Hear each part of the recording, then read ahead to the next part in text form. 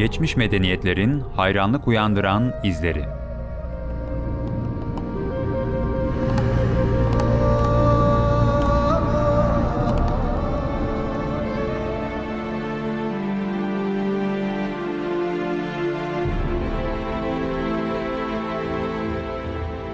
Dünya tarihi, sırları halen çözülemeyen birçok antik medeniyetin muhteşem yapıtlarını barındırır.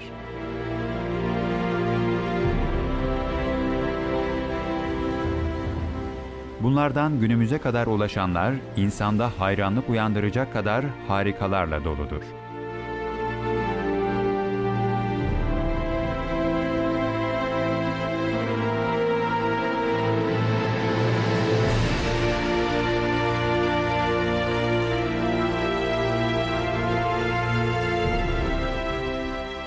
Tarihin akışını incelediğimizde karşımıza çıkan gerçek, insanın her zaman günümüz insanıyla aynı zekaya ve yeteneğe sahip olduğudur. Binlerce yıl önce yaşamış insanların ürettikleri eserler ve geride bıraktıkları izler, evrim teorisinin insanın ilkelden medeniyete doğru ilerleme iddialarını geçersiz kılmaktadır.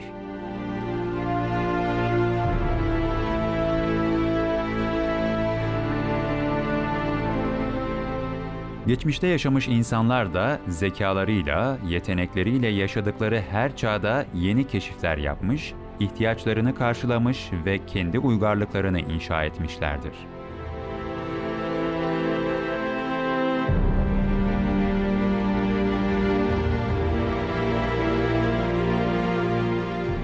Görkemli anıtlar inşa edebilen, beyin ameliyatı yapabilen Mısırlılar. Son derece gelişmiş şehirler inşa eden, astronomide çığır açan, ileri bir teknolojiye sahip Mayalar.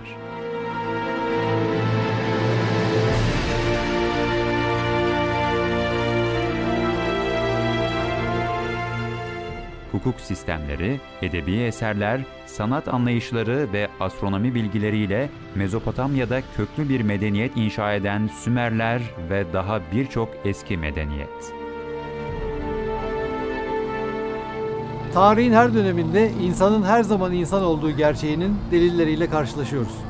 Geçmiş medeniyetlerin izlerinde ilkel insanlar değil, binlerce yıldır süre gelen bir medeniyetin torunları oldukları anlaşılan uygar insanlar vardır.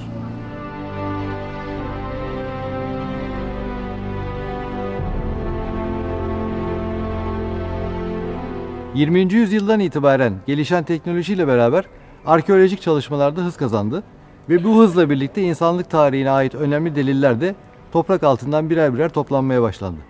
Böylece binlerce yıl önce Mısır'da, Orta Amerika'da, Mezopotamya'da ve diğer bölgelerde yaşanan hayatın pek çok yönden günümüzle paralellik gösterdiği ortaya çıktı.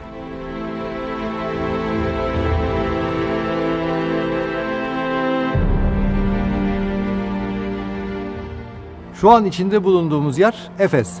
Tarih boyunca dev medeniyetlere beşiklik yapmış Hititlerden Helenistik ve Roma çağlarının en görkemli dönemlerine kadar dünyanın en önemli merkezlerinin hep merkezi olmuş bir yer. Dünyanın yedi arkasından biri olan Artemis Tapınağı, Antik Tiyatrosu ve Celsus Kütüphanesi ile Efes, barındırdığı tüm medeniyetlerle uygarlık, bilim, kültür ve sanat alanlarında her zaman önemli bir merkez halinde olmuş.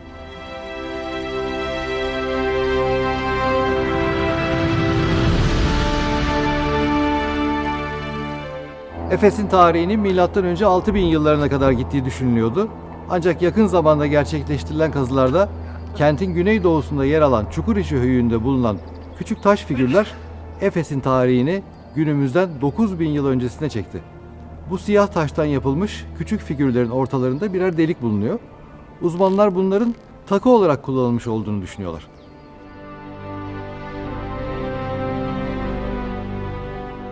Bir toplumun mücevher kullanması, süs eşyaları meydana getirmesi, o toplumun medeni bir yaşam sürdüğünün önemli delillerindendir. Açıktır ki günümüzden binlerce yıl önce yaşayan insanlar da takı ve mücevheri biliyor, estetikten zevk alıyor, insani bir yaşam sürüyorlardı.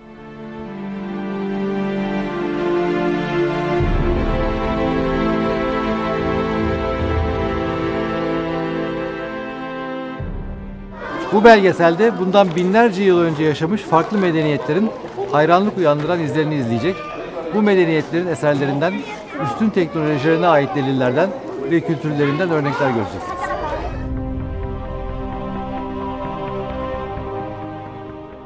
İnsanlık tarihinin şaşırtıcı eserleri megalitler.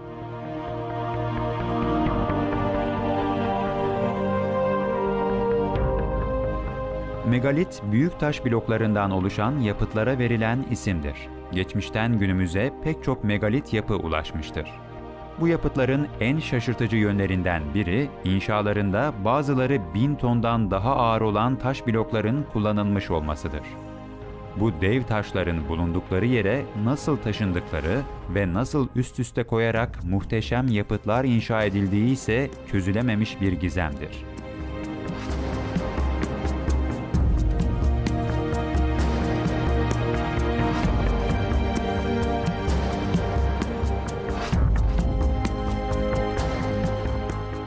Bilinen bir gerçek varsa o da birer inşaat ve mühendislik harikası olan megalitleri meydana getiren insanların tahmin edilenin ötesinde bir bilgi birikimine ve ileri bir teknolojiye sahip olduklarıdır.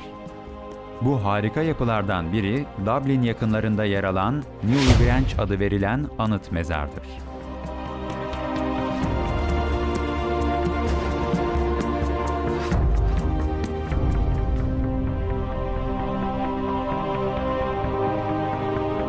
New Branch.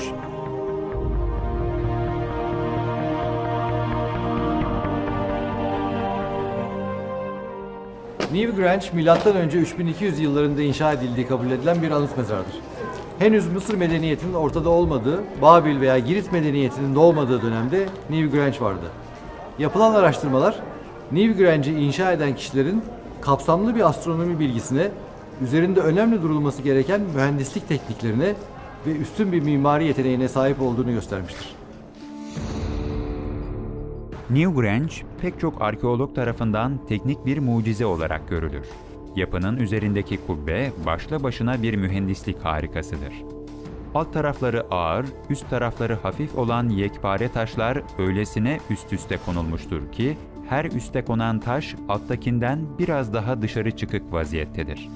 Bu şekilde yapının üstünde orta kısımda 6 metre yüksekliğinde altıgen bir baca ortaya çıkmıştır. Bacanın sonunda istenildiğinde açılıp kapanan bir kapak taşı vardır.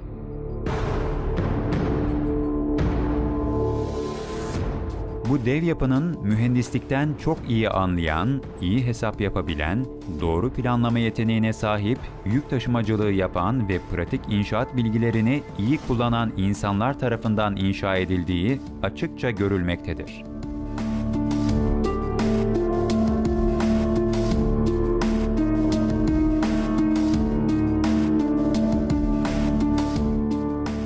Yapının astronomik özellikleri de hayret vericidir. Bu dev anıt öyle bir şekilde inşa edilmiştir ki güneşin dönüm günlerinde yapının içinde çok etkileyici bir ışık oyunu meydana gelir.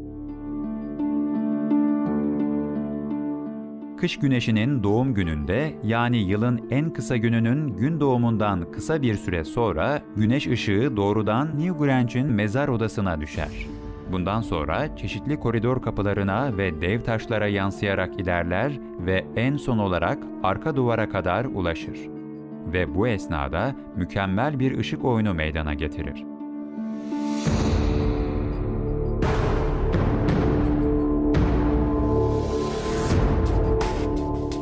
Dikkat çekici olan ışığın yapının içine koridordan değil, koridor kapısının çatısının üzerinde özel olarak yapılmış dar delikten girmesidir.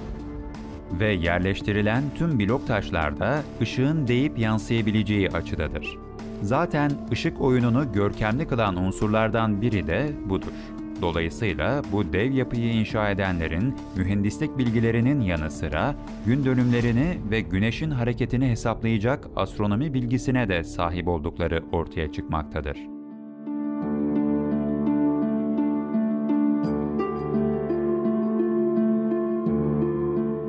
Işığın bu özel teknikle içeri girmesini sağlayan insanların evrimcilerin iddia ettiği gibi ilkel değil, aksine köklü bir bilgi birikimine sahip, düşünebilen, üretebilen, gelişmiş inşaat teknikleri ve araçları kullanabilen insanlar olduğu bir gerçektir.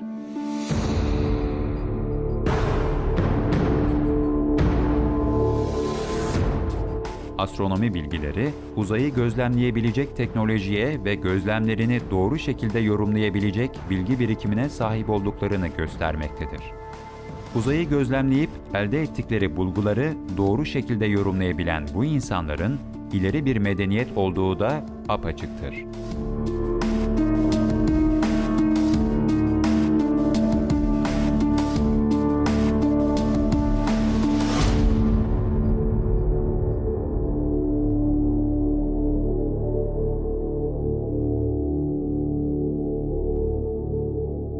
Stonehenge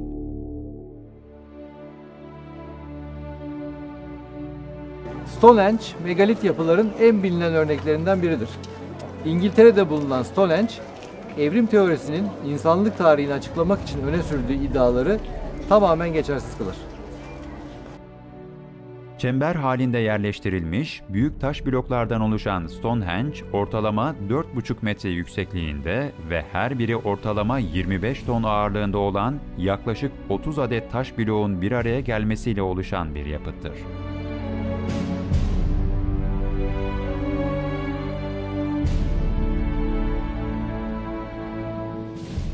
Birçok kaynağa göre Stonehenge'in tarihi günümüzden yaklaşık 4800 yıl öncesine kadar uzanmaktadır. Tarihi kaynaklar ilk inşaat sırasında arazide dev taşlardan küçük bir çember yapıldığını ve bu çemberin dışına da bir topuk taşı yerleştirildiğini gösterir. Daha sonra yine dev taşlarla ikinci bir çember oluşturulmuş, bundan sonra da çemberlerin iç kısmına mavi taş denilen taş bloklar yerleştirilmiştir.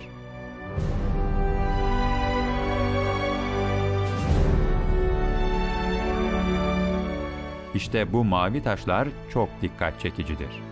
Çünkü Stonehenge'in yakınında herhangi bir mavi taş kaynağı yoktur. Yapılan araştırmalar bu taşların Stonehenge'den karayoluyla yaklaşık 380 kilometre uzaklıkta bulunan Presteli Dağları'ndan getirildiğini ortaya çıkardı.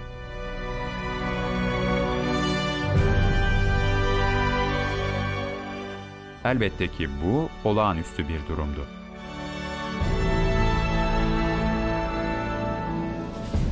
Günümüzden neredeyse 5000 yıl önce yaşamış bu insanlar tonlarca ağırlığındaki bu taşları nasıl olduğu henüz bilinmeyen bir sistemle taşımış, coğrafi konumlarını hesaplayarak bir çember haline getirmişlerdir.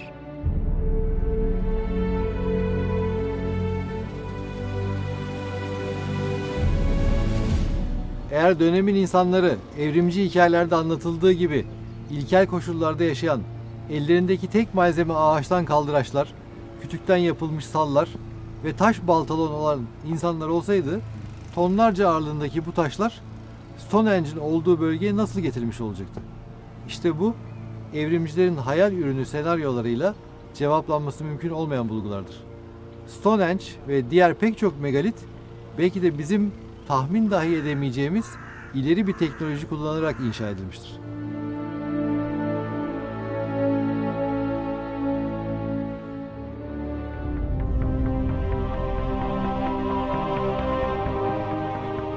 Tiahunaco şehrinden hayret verici kalıntılar.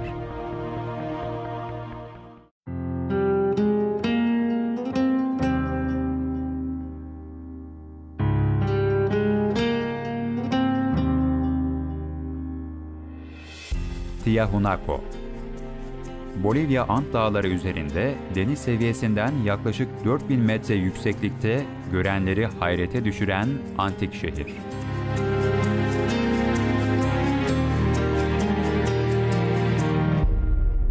Tarihi Tiahunaco şehri, görenleri hayrete düşüren pek çok kalıntıyla doludur. Tiahunaco'da en ünlü kalıntılardan biri, ekinoksları, mevsimleri, ayın her saatteki durumunu ve hareketlerini gösteren takvimdir. Bu takvim, söz konusu bölgede yaşayan insanların çok ileri bir medeniyet seviyesine sahip olduklarını göstermektedir.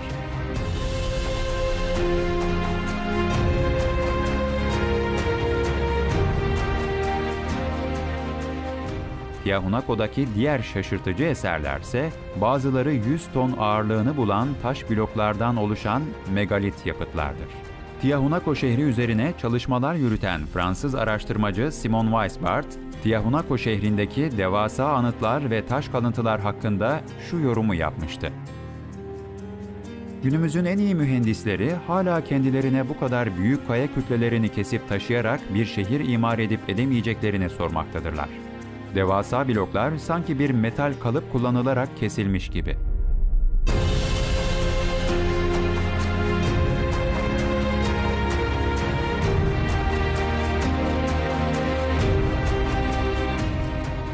Tiahunaco'da duvarlar 100 ton ağırlığındaki kum taşı blokları üzerine 60 tonluk başka bloklar konularak inşa edilmişti. Duvarların yapımında ustalık gerektiren bir taş işçiliği kullanıldığı görülür. Büyük kare taşlar pürüzsüz oluklarla birleştirilmiş, 10 ton ağırlığındaki taş bloklarda 2,5 metre uzunluğunda delikler açılmıştır.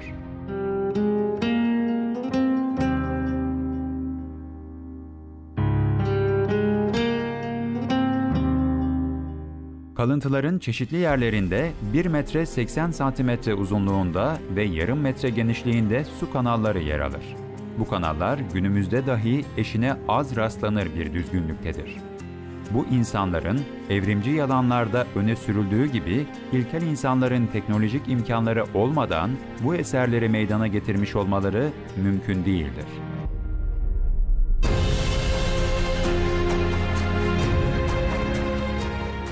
Tiahunaco'da en dikkat çekici yapıtlardan biri de Güneş Kapısı'dır.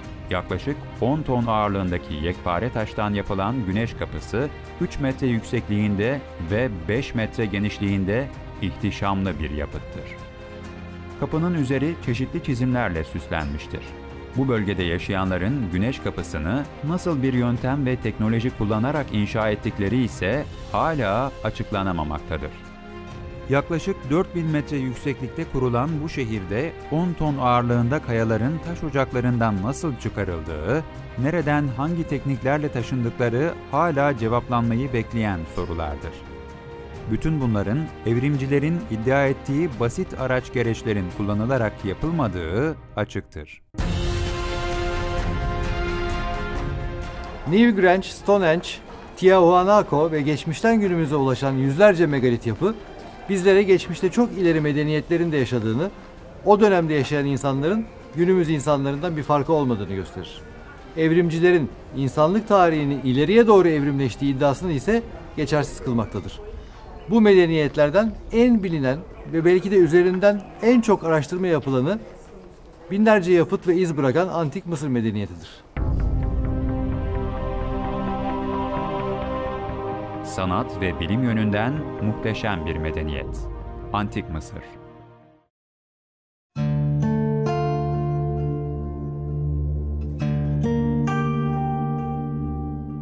Antik Mısır, insanoğlunun binlerce yıl önce kurduğu sanat ve bilim yönünden en etkileyici medeniyetlerden biridir. Günümüzde dünyanın pek çok bölgesinde Mısırlıların ulaşmış olduğu bu medeniyet seviyesine ulaşılamamıştır.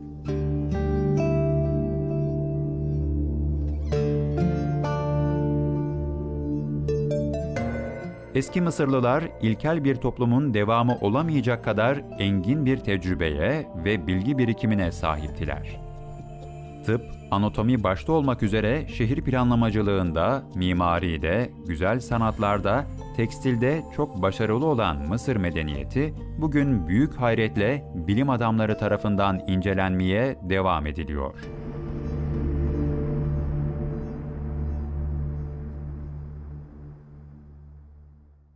Tıbbın kökeni Antik Mısır'da. Eski Mısır'da tıbbın ulaştığı gelişmişlik düzeyi oldukça şaşırtıcıdır. Kazılarda ele geçen bulgular, arkeologların yanı sıra birçok tarihçiyi de hayrete düşürmüştür.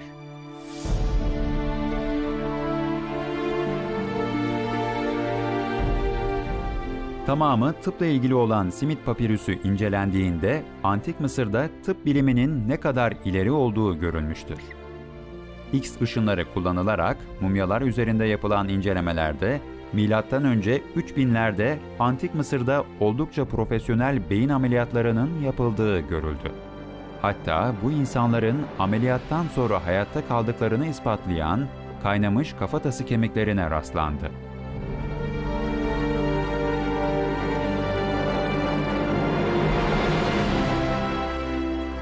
Mısırlıların tıp ve anatomide ne kadar ileride olduklarını gösteren en önemli delillerden biri de kuşkusuz geride bıraktıkları mumyalardır.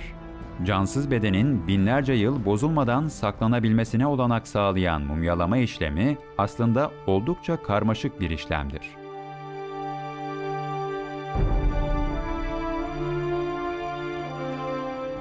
Mısırlılar mumyalama işlemi için bilgi ve titizlik gerektiren birçok farklı teknik uygulamışlardır.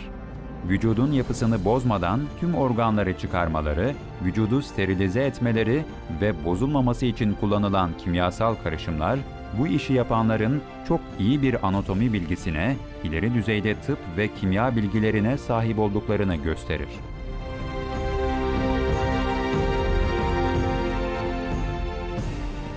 Yapılan araştırmalar Mısırlıların konularında uzman doktorlarının olduğunu, çeşitli hastalıklara uygun reçeteler yazdıklarını, sterilizasyon bilgisine sahip olduklarını ve antibiyotik kullandıklarını göstermiştir. Mısırlılar tarafından 5000 yıl önce kullanılmış olan birçok tıbbi teknik alette yapılan araştırmalarda gün ışığına çıkarılmıştır.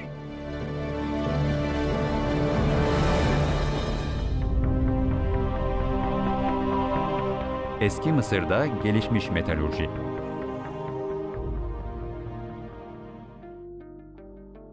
Metalurji gerekli ham maddeler kullanılarak metal ve alaşımlarının üretilmesi, saflaştırılması, şekillendirilmesi ve korunmasını içeren bilim ve teknoloji dalıdır. Eski Mısır medeniyeti incelendiğinde bundan yaklaşık 3000-3500 yıl önce Mısırlıların başta altın, bakır, demir olmak üzere çeşitli maden ve metallerin cevherlerinin bulunması, çıkarılması ve işlenmesi konusunda uzman oldukları görülür. Antik Mısırlıların en çok kullandıkları ve değer verdikleri maden altındı. Yapılan araştırmalarda eski Mısırlılara ait olduğu tahmin edilen yüzlerce altın maden yatağı bulunmuştur. Milattan önce 14. yüzyıla ait bir papirüste maden çevresinde sayısı 1300'den fazla evin yalnızca madende çalışanların konaklaması için inşa edildiği anlatılmıştır.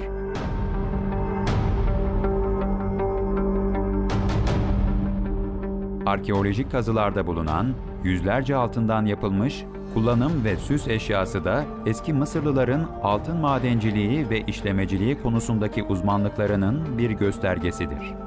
Yapılan arkeolojik çalışmalar eski Mısır'da bakır ve demirin yanı sıra bronzun üretimi için tin, camların renklendirilmesinde kobalt kullandıklarını da göstermiştir.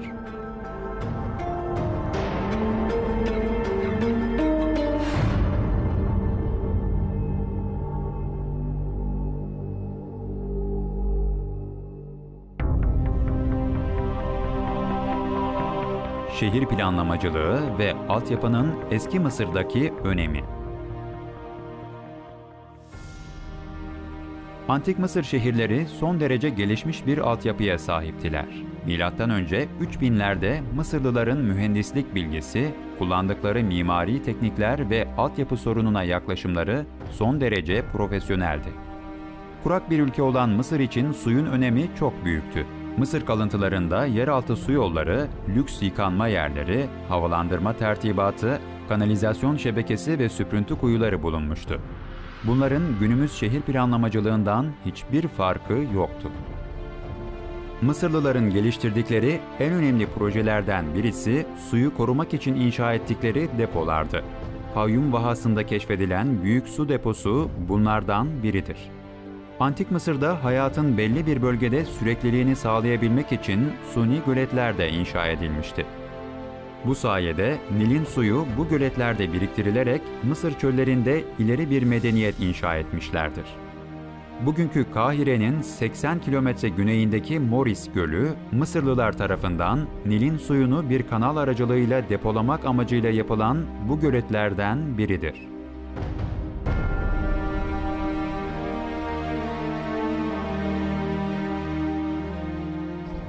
Mısırlıların tıbbi bilgileri, şehir planlamaları ve meteoroloji, mühendislik bilgileri ile uygulamaları son derece ileri bir medeniyete sahip olduklarını gösteren önemli delillerden sadece birkaçıdır.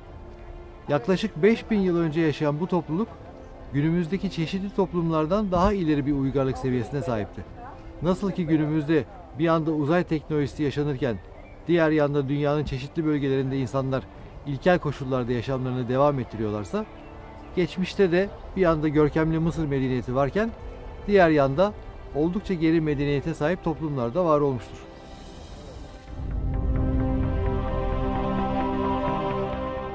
Sırlarla dolu inşa teknolojisi.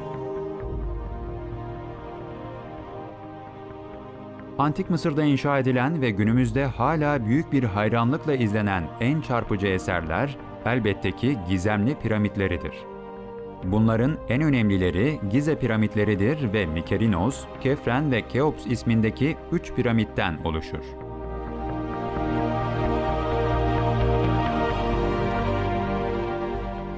Bu piramitlerin en ihtişamlısı Keops yani Büyük Piramittir.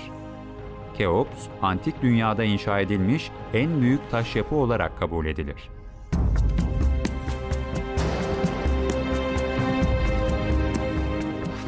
Büyük piramidin yüksekliği 146,5 metre olarak inşa edilmişti. 3800 yıl boyunca da dünyanın insan yapımı en yüksek yapısıydı. Bu piramidin nasıl inşa edildiği konusunda Herodot zamanından itibaren birçok tarihçi ve arkeolog çeşitli teoriler ortaya atmıştır. Ancak ortaya atılan teorilerin hiçbiri piramitlerin yapımlarıyla ilgili sırların günümüz bilim ve teknolojisiyle dahi çözülemeyeceğini gösteriyordu.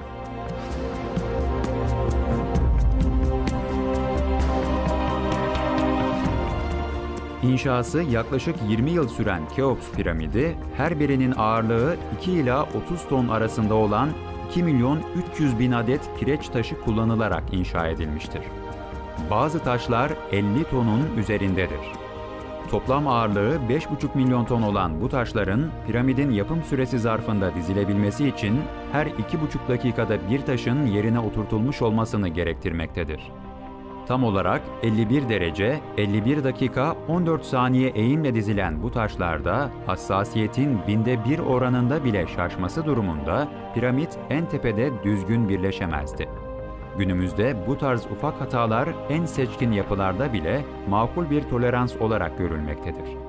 Ama bundan 4500 yıl önce inşa edilen piramitlerde tepe noktası kusursuzca birleştirilmiştir. Bu milyonlarca dev taşın nasıl taş ocağından çıkartıldığı, getirtildiği, nasıl kenarlarının düzleştirildiği ve neredeyse 150 metre yukarılara kadar taşındığı hala gizemini korumaktadır. Bu taş bloklar yan yana o kadar düzenli yerleştirilmişlerdir ki blokların arasına bir parça kağıt bile sokmak mümkün değildir.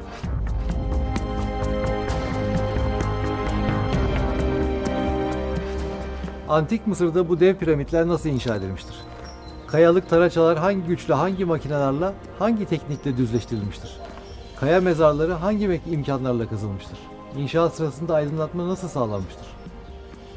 Bu sorular daha da arttırılabilir.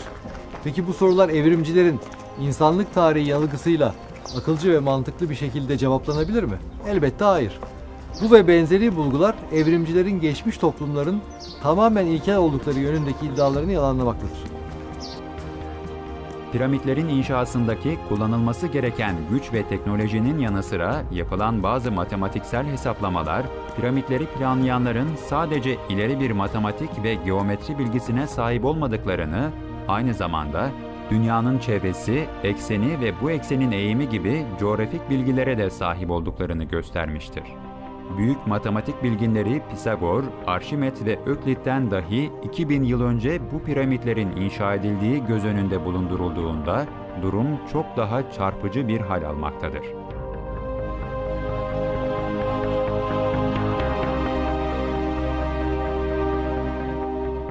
Gize'deki üç piramit bir Pisagor üçgeni oluşturacak biçimde düzenlenmişlerdir. Bu üçgenin kenarlarının birbirlerine oranları 3, 4, 5'tir. Bu bir Pisagor üçgenidir.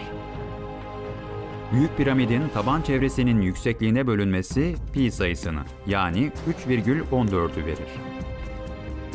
Piramit dev bir güneş saatidir.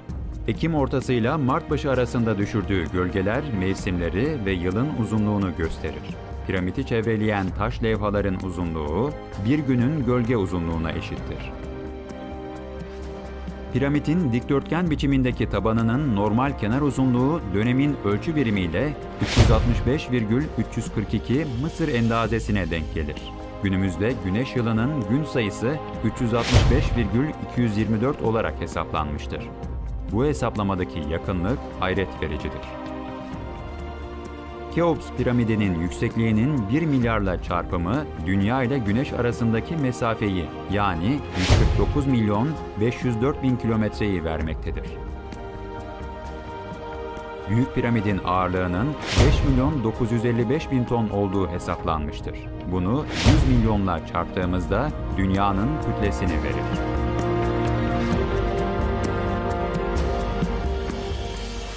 Burada çok azından bahsettiğimiz bu ölçümler, Mısır medeniyetinin binlerce yıl sonra keşfedilecek matematik, astronomi ve coğrafi keşiflerden çok daha ileri bir bilim ve teknoloji seviyesinde olduğunu göstermektedir.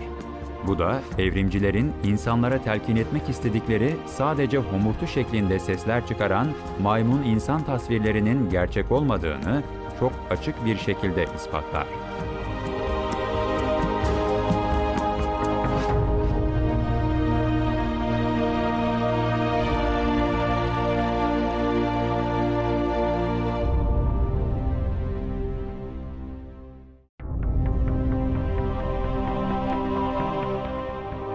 Antik Mısır'da hava ulaşımı.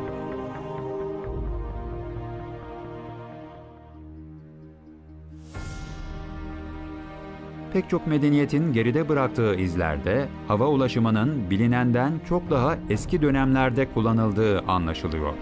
Buna işaret eden delillerden biri Mısır'da bulunan planör modelidir.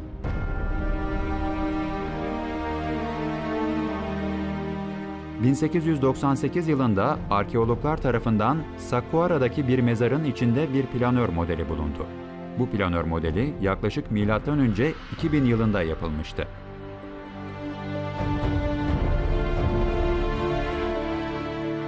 Planör modelin teknik özellikleri incelendiğinde ortaya çok daha ilginç bir manzara çıkar. Bu ahşap modelin kanatlarının şekli ve oranları günümüzün teknolojisiyle yapılan uçaklarda olduğu gibi hızdan minimum kayıpla maksimum kaldırma kuvveti sağlayacak şekilde tasarlanmıştı. Bu planör modeli, evrimcilerin sözde ilkel olduğunu iddia ettikleri insanlık tarihi anlayışını temelden sarsan arkeolojik bir buluştur.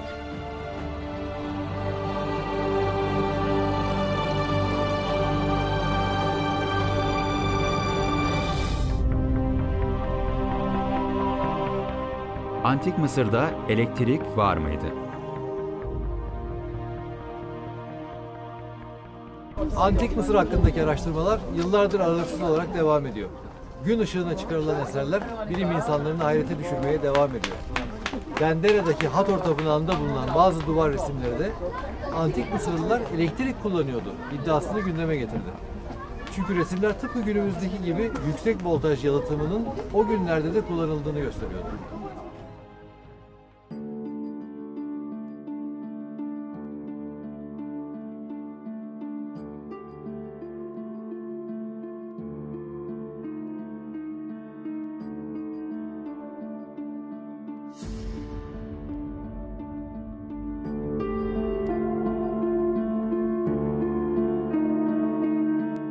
Gördüğünüz ampul görünümündeki şekil dikdörtgen bir sütun tarafından desteklenmektedir.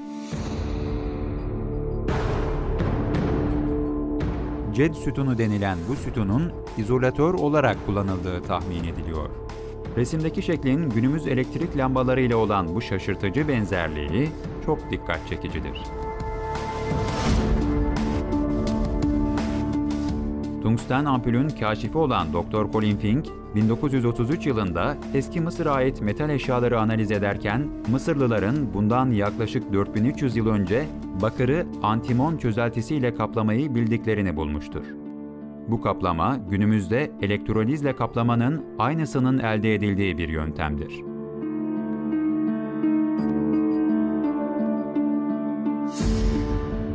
Bilim adamları resimde tarif edilen bu sistemin ışık yayıp yaymadığını görmek için resimdeki düzeneğin aynısını tasarladı. Avustralya'da elektrik mühendisi Walter Garn, kabartmada yer alan resimdeki ampulü, yılanlı teli, duyu, jet sütunu olarak kullanılan izolatörün aynısını yaptı. Ve ortaya çıkan sistem etrafı aydınlattı, yani ışık yaydı.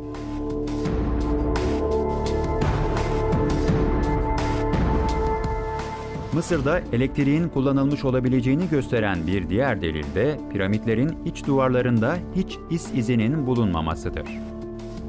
Eğer aydınlatma için meşale ve benzeri malzemeler kullanılmış olsaydı, duvarlarda mutlaka is olması gerekirdi. Ancak piramitlerin en içteki dehlizlerinde dahi böyle bir is izi yoktur. Gerekli aydınlatma sağlanmadan inşaatın devam etmesi, daha da önemlisi duvarlardaki gösterişli resimlerin yapılabilmesi mümkün değildir. Bu da Mısır'da elektriğin kullanılmış olma ihtimalini güçlendirmektedir.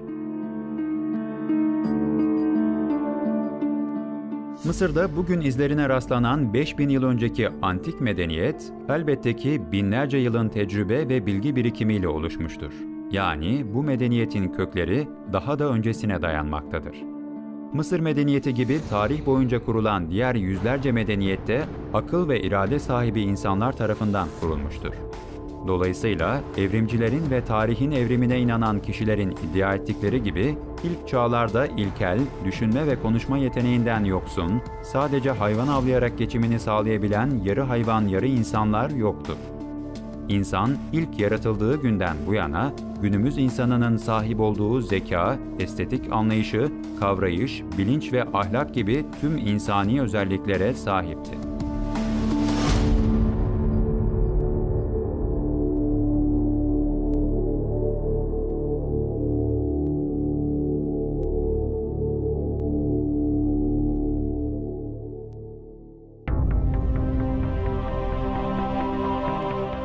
İleri bir medeniyet.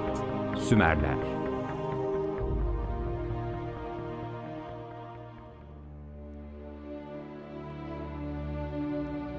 Milattan önce 3500'ler.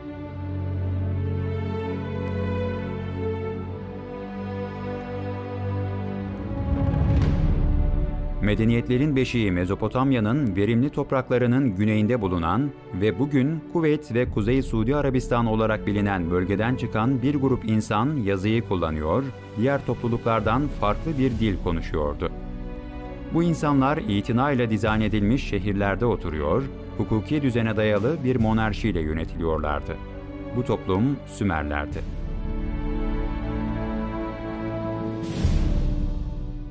İnsanlık tarihi eski dönemlerde yaşayan toplumların evrimcilerin iddialarının aksine tahmin edilenden çok daha üstün bir teknoloji ve medeniyete sahip olduklarını gösteren yüzlerce delille doludur. Sümerlerin geriye bıraktıkları eserler, insanoğlunun binlerce yıl önce sahip olduğu bilgi birikiminin delillerinden sadece bir kısmıdır. Sümerler döneminde teknolojiden sanata, hukuktan edebiyata, tekstil, el sanatları ve metalurjiye kadar tüm alanlarda önemli kalıntılara rastlanmıştır. Sümerlerin gelişmiş ticaretleri ve güçlü bir ekonomileri vardı. Tunç metalurjisi, tekerlekli araçlar, tekneler, heykeller ve anıtsal yapılar bu dönemdeki hızlı gelişimin günümüze ulaşan kanıtlarından birkaçıdır. Sümerlerin inşa etmiş olduğu büyük medeniyet hem kendi devrinde son derece ileridir hem de günümüzde dahi pek çok toplumla kıyaslandığında oldukça gelişmiş bir medeniyettir.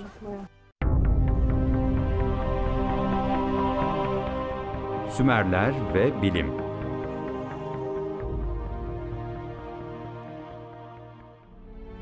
Sümerler matematikte 60 sayısına dayalı bir matematik sistemi kullanıyorlardı. 60 sayısı halen bazı hesaplamalarda önemli bir yer tutar. Bir saatin 60 dakikadan, bir dakikanın 60 saniyeden oluşması ya da dairede 360 derece olması gibi.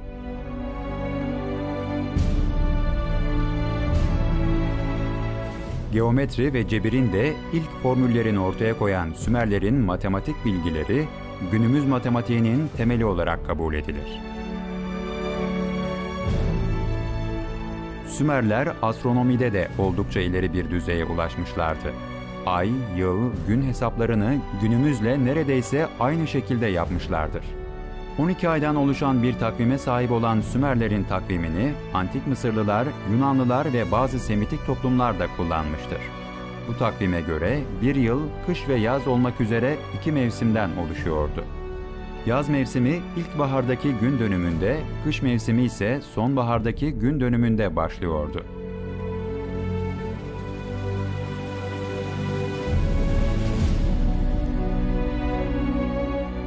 Sümerler Ziggurat adını verdikleri kulelerde uzayı da incelemişlerdir.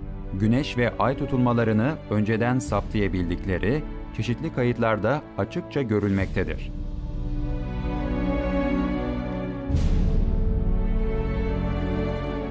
Sümerlerin bir diğer astronomik bulgusu da pek çok takım yıldızın haritasını çıkarmış olmalarıdır. Güneş ve Ay'ın yanı sıra Merkür, Venüs, Mars, Jüpiter ve Satürn'ün de hareketlerini takip edip kaydetmişlerdir. Günümüzden 5000 yıl önce Sümerlerin uzayla ilgili yaptıkları bilimsel saptamalar, bugün uzay araçlarından gönderilen görüntülerle de doğrulanmıştır.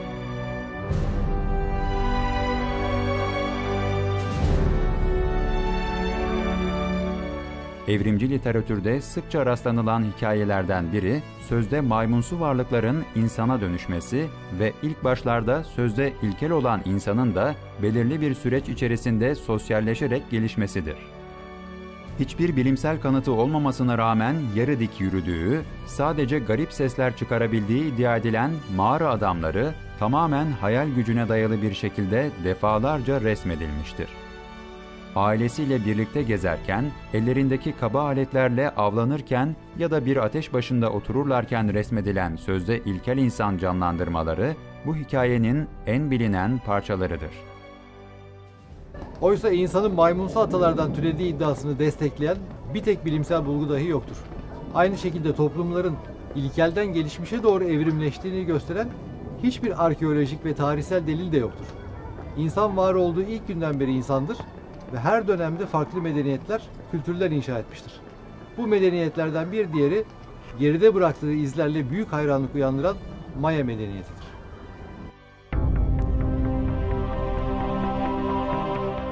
Mayalar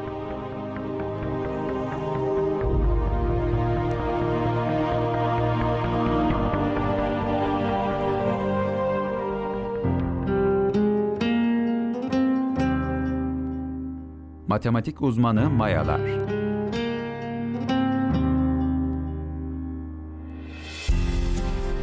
Milattan önce 1000 yıllarında Orta Amerika'da diğer toplumlardan oldukça uzakta yaşayan Mayalar gelişmiş bir medeniyet oluşturmuşlardı.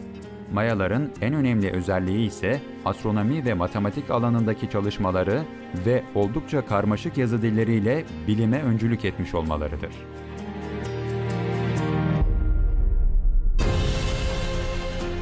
Bugüne kadar Maya yazısının ancak %30'luk bir kısmı çözülebildi.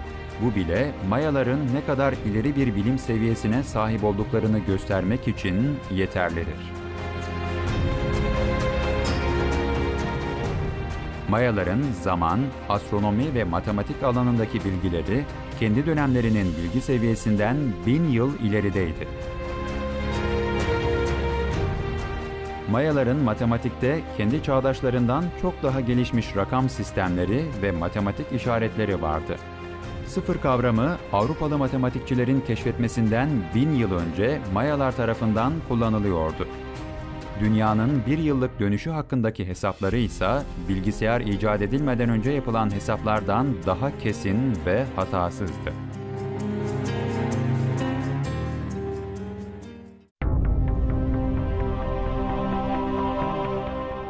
Maya takvimi Mayaların kullandıkları Haab takvimi 365 günden oluşuyordu. Fakat Mayalar bir yılın 365 günden biraz daha uzun olduğunu da hesaplamışlardı.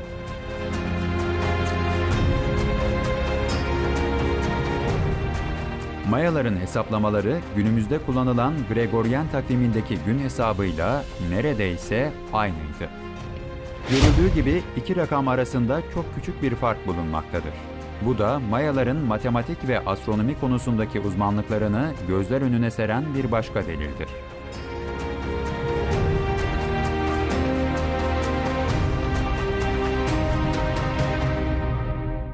Mayaların astronomi bilgileri Mayalardan günümüze gelen ve kodeks olarak isimlendirilen üç kitapta Mayaların yaşantılarına ve astronomi ilimlerine dair önemli bilgiler bulunur. Bu üç kitaptan biri olan Dresden Kodeksinde Venüs gezegenine dair bilgiler vardır. Mayalar bir Venüs yılını tam doğru olarak yani 583.92 gün olarak hesaplamışlardır. Daha sonra bu rakama yuvarlayarak 584 gün olarak kabul etmişlerdir. Aynı kodekste 2 sayfa Mars'a, 4 sayfa Jüpiter ve uydularına ait bilgilere, 8 sayfada Ay'a, Merkür'e ve Satürn'e ayrılmıştır. Bu sayfalarda bu gezegenlerin Güneş etrafındaki dönüşleri, Güneşle birlikte hareketleri, gezegenlerin birbirleriyle ilişkileri, Dünya ile ilişkileri gibi oldukça karmaşık hesaplamalarla belirlenen bilgileri açıklamışlardır.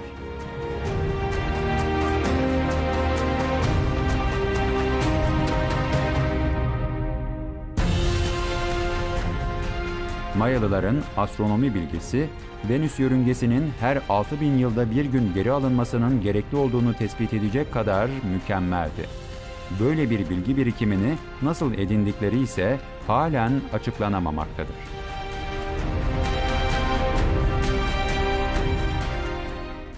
Günümüzde böyle karmaşık hesaplar ve hassas uzay ölçümleri ancak bilgisayar ve uydu teknolojisinin yardımıyla üstün teknolojiyle donatılmış gözlem merkezlerinde saptanabilmektedir.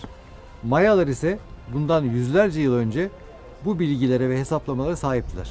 Bu durum bir kez daha toplumların sürekli olarak sözde ilkellikten medeniyete doğru ilerledikleri tezini geçersiz kılmaktadır.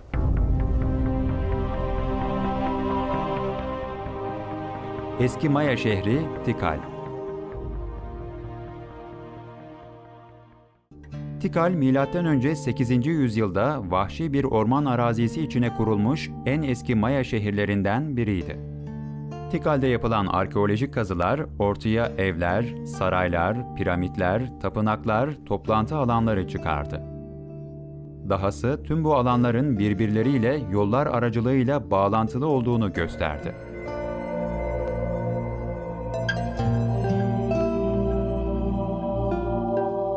Yaklaşık 300 kilometre uzunluğundaki bu yollar detaylı bir mühendislik çalışması yapıldığını ortaya koyar nitelikteydi. Tüm yollar kırılmış kayalardan yapılmış ve üzerleri açık renk dayanıklı bir tabakayla kaplanmıştı. Cetvelle çizilmiş gibi düzgün bir hatta sahip olan bu yolların nasıl inşa edildikleri, yollar inşa edilirken mayaların yönlerini nasıl belirledikleri, hangi araç ve gereçlerden yararlandıkları cevap bekleyen önemli sorulardan bazıları.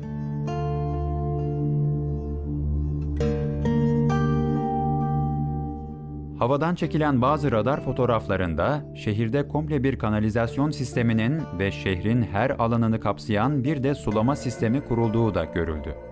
Ne deniz ne de nehir kenarında bulunan Tikal'de sulamanın gerçekleşebilmesi için yaklaşık 10 tane dev su deposu inşa edilmişti.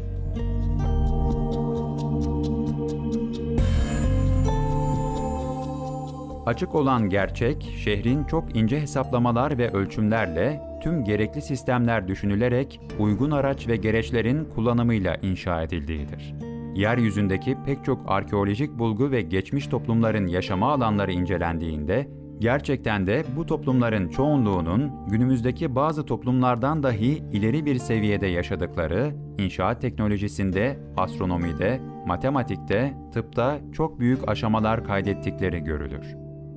Bu da Darwinistlerin tarihin ve toplumların evrimi masalını bir kez daha geçersiz kılmaktadır.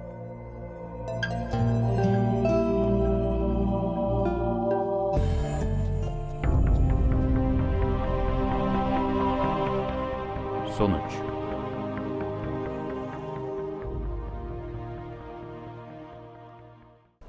Sadece küçük bir bölümünü incelediğimiz eski medeniyetlerin her biri bizlere tarihte yaşamış olan toplulukların ilkel değil, ileri medeniyetler olduklarını gösteriyor. Toplumların ilerlemesinde kültürlerin birbirlerinden olan etkileşimleri ve nesillerin birbirlerine aktardıkları bilgi birikimi kuşkusuz önemli bir rol oynar. Ama bu bir evrimleşme değildir. Tarihin her döneminde farklı medeniyet seviyelerinde farklı kültürlere sahip toplumlar yaşamıştır. Ancak hiçbiri diğerinden evrimleşmemiştir.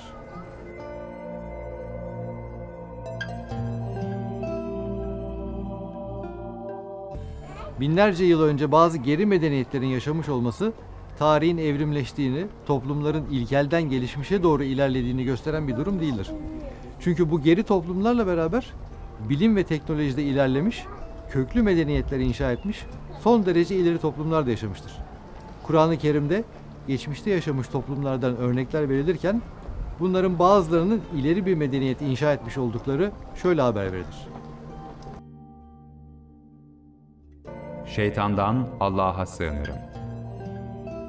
Yeryüzünde gezip dolaşmıyorlar mı ki kendilerinden öncekilerin nasıl bir sona uğradıklarını bir görsünler.